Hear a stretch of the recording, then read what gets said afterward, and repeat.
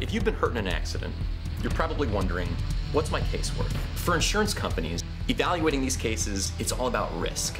And so, the better your attorney's reputation for trying and winning cases is, the riskier it seems for that insurance company to do anything other than pay you the reasonable value of your claim before we get to court.